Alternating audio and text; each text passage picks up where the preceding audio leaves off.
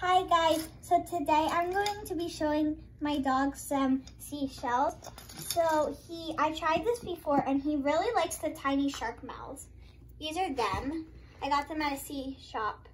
And he really likes to sniff them, but he likes to lick them and I feel like he's gonna cut his mouth. Do you like the alligator finger? He likes to lick the alligator finger. He wants, he wants, he wants the mouth. Does he really? Yeah, don't cut yourself. And then this is my sand dollar.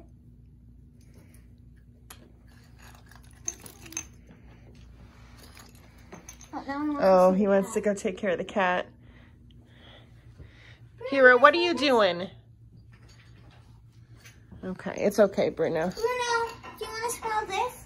When he smells through it, um, it, it's like it's making a noise when he smelled it before.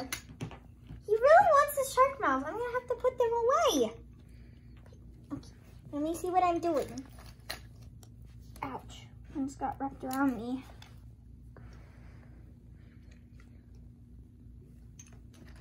And I have these.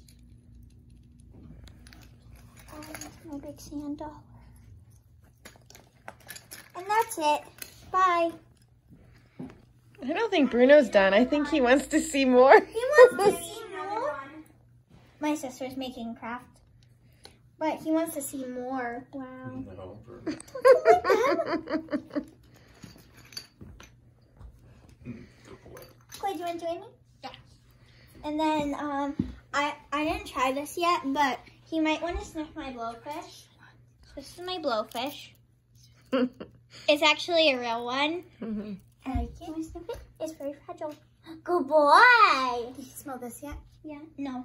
Well, yeah, before. he licked it. Oh my gosh. You, wait, show him the shark mouth, but don't get him. Don't let him lick it. He loves the shark.